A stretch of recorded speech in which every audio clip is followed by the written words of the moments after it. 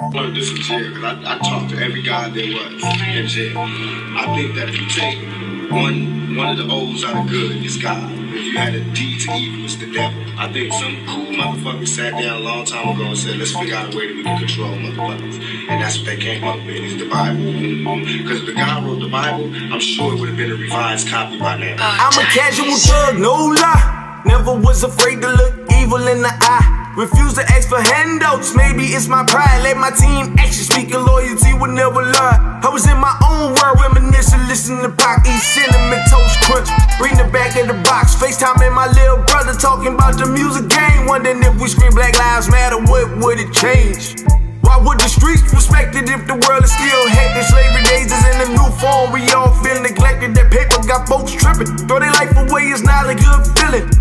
chasing the same thing in life, millions and billions. I'd rather have my sanity prosper and God's willing. My grandma say, don't let this BS turn you into a villain. Just keeping the original spirit, stay humble and know your mission. Stay focused and persistent.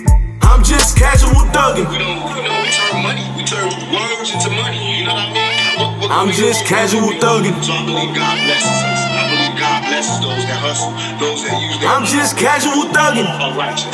I believe that your karma, everything that you do bad comes back to you. I'm just casual thugging. I have to suffer for it. But in my heart, I think what I'm doing is right. You know what I mean? So I feel like I'm going I'm so ahead of my future, be letting my past go. If I'm not waving and speaking, folks think I'm an asshole. I don't really mean no harm, but my feelings are mad cold. Can't trust nobody but self. When the truth being exposed, they say the good die young.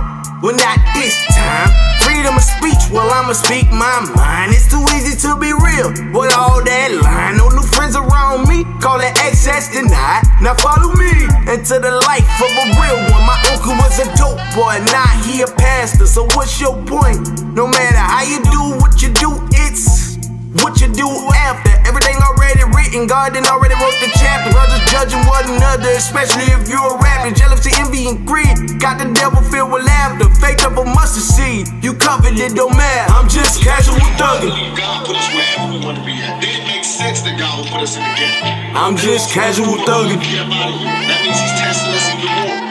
That makes sense.